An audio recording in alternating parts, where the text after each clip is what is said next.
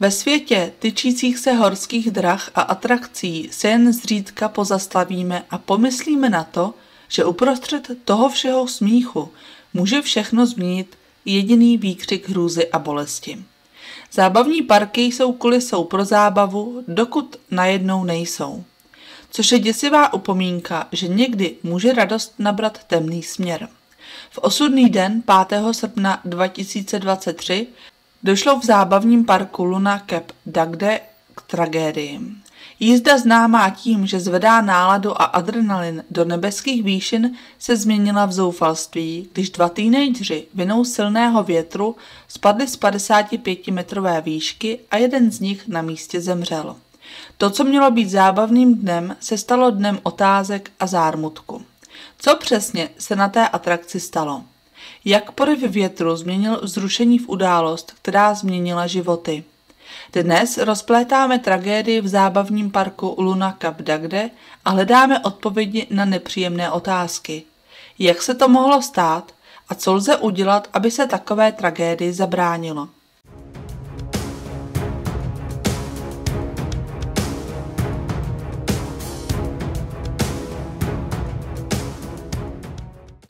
Cape Dagde, sluncem políbené přímořské letovisko na jižním pobřeží Francie, se obvykle zalévá zvuky letní radosti. Právě zde stojí zábavní park Luna Cape Dagde jako maják zábavy, jehož atrakce dosahují k nebi jako tyčící se monumenty dobrodružství. Mezi nimi je oblíbená atrakce zvaná prostě adrenalin. Známá svým rychlým stoupáním do závratných výšek, což slibuje příval vzrušení pro ty, kteří se odváží na ní nasednout. Adrenalin není jen tak obyčejná atrakce. Je to zážitek, který vás vyhodí do vzduchu zhruba 60 metrů. Je to okamžik, kdy se svět pod vámi rychle stává malým, krátká přestávka od sevření gravitace. Návštěvníci při poutaní na sedadlech čekají na okamžik, kdy se budou houpat vysoko nad parkem a budou mít pocit, jako by se vznášeli na obloze. Kouzlo adrenalinu spočívá v tomto příslibu létání, pocitu, že se prsty dotýkáte mraků a na tváři cítíte šumění větru. Vzhledem k dlouhé historii bezpečnosti parku je však jasné, že tento slib přichází s důležitým závazkem vůči blahu a bezpečí návštěvníků. Luna Park se již dříve potýkal s problémy s touto atrakcí. Každý incident, i když vzácný, je připomínkou obrovské odpovědnosti těch, kteří řídí tyto vysoko létající stroje. Luna Park můžete nazvat místem, kam rodiny přicházejí užít si výjimečný den, kde teenageři posouvají svou odvahu a kde mladí srdcem nacházejí radost z létání. Je to místo samo o sobě, kde se ke každému hlasitému jásutu připojuje tichá naděje a každá jízda předpokládá naši důvěru v ty, kteří řídí naše lety do oblak. 5. srpna 2023 byl vzduch naplněn nejen vzrušením, ale také neobvyklým vánkem. Byl silnější, než na co byl kdokoliv na Cape Dagde zvyklý. Takový vítr, který vás donutil držet si klobouky trochu pevněji. Přesto se atrakce točily dál a hry pokračovaly, protože nikdo nemohl odhadnout, jak moc tento vítr všechno změní. Adrenalinová jízda, která se mezi ostatními atrakcemi tyčila jako obr, byla místem, kde se zábava změnila ve strach. Měla to být další jízda jako každá jiná. Další nápor zrušení pro ty, kteří se odváží vzlétnout do oblak. Ale když byli oba teenageři připoutáni do svých postrojů a vystřeleni na oblohu, nikdo nemohl předvídat, že silné poryvy větru pošlou na úplně jinou cestu, než na kterou se upsali. Říká se, že tato atrakce dosahuje rychlosti jako auto na dálnici. A ten den, kdy vítr skučel a adrenalin proudil žilami, to vypadalo, jako by se atrakce snažila závodit s větrem samotným. Ale vítr zvítězil. Poslalo to kabinku mimo její obvyklou trasu a v těch srdcervoucích okamžicích už nešlo o vzrušení, ale o přežití. Ale stalo se nepředstavitelné.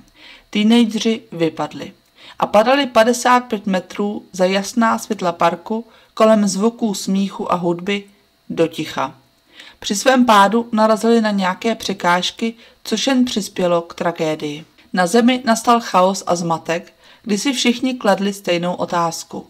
Jak by se mohl den plný zábavy změnit v noční můru? Ale v těch chvílích neexistovaly žádné odpovědi, jen drsná realita nepovedené jízdy a dne, na který park ani město nikdy nezapomenou. Když se adrenalinová jízda náhle a mrazivě zastavila, zavládlo nad Lunaparkem ticho. Zábava a hry byly pozastaveny, protože pozornost všech se obrátila k nemyslitelnému. Den plný radosti se jim přímo před očima změnil v noční můru. Na místo spěchaly záchranné týmy, jejich sirény protínaly těžký vzduch a byly drsnou připomínkou vážnosti toho, co se právě stalo. Park, kdysi rušné centrum zábavy, byl nyní místem naléhavosti a obav. Zaměstnanci parku jednali rychle, zastavili všechny atrakce a vyklidili oblast, jejich výrazy byly napjaté, jak se soustředili na svůj úkol. Dva teenageři, jejichž den nabral tragický obrat, byli středem myšlenek všech. Sedmnáctiletý chlapec ještě před chvílí plný života ležel nehybně. Jeho zranění byla příliš vážná na to, aby je přežil. Na místě byl prohlášen za mrtvého. 19-letá dívka, která seděla vedle něj, byla rychle převezena do nemocnice. Její stav byl kritický. Radost z jejího dne vystřídala nejistota a bolest. Když park zavřel své brány, atrakce, které byly plné nadšených hostů, stály tiše jako strašidelná připomínka nehody. Luna Park, místo které představovalo radostný únik z reality, bylo nyní zahaleno do pochmurné nálady. V tichých dozvucích nehody, když se vytrácely poslední zbytky denního světla, právě začínala nová fáze.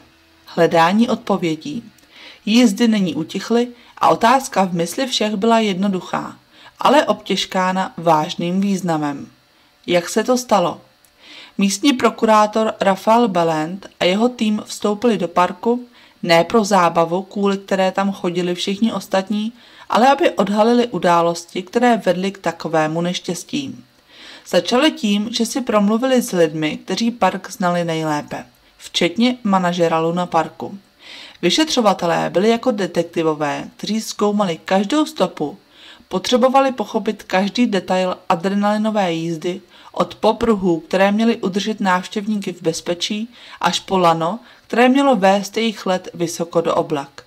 Vyslechli svědky, kteří viděli, jak se kabinka vydala směrem, kterým se nikdy neměla vydat. Což vedlo k tomu, že teenageři narazili do kovového sloupu a vypadli. Když park zůstal uzavřen a místo nehody označovala policejní páska, promluvil starosta města. Giles Ditor mluvil o větru a o tom, jak byl na Cape Dagde neobvyklým hostem. Neexistovala ani pravidla, co dělat s atrakcemi, když takhle foukal vítr, protože se to prostě nestávalo. Vyšetřovatelé se také museli podívat na historii atrakce. Stalo se to někdy předtím?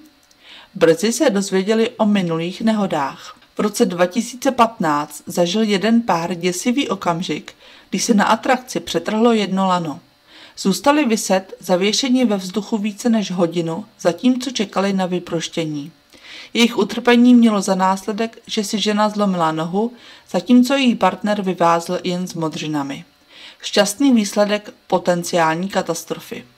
Skočme vpřed do roku 2019 a další incident zanechal svou stopu v historii parku.